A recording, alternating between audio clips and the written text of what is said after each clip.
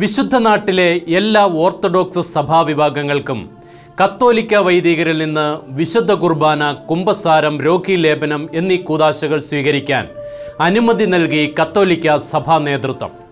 വിശുദ്ധ നാട്ടിലെ കത്തോലിക്ക സഭാധ്യക്ഷന്മാർ പ്രസിദ്ധീകരിച്ച എക്യുമെനിക്കൽ പാസ്റ്ററൽ മാർഗനിർദ്ദേശങ്ങളിലാണ് ഓർത്തഡോക്സ് കത്തോലിക്ക സഭ ഐക്യത്തിലെ സുപ്രധാന ചുവടുവെപ്പെന്ന് വിശേഷിപ്പിക്കാവുന്ന ഇക്കാര്യം സൂചിപ്പിച്ചിരിക്കുന്നത്.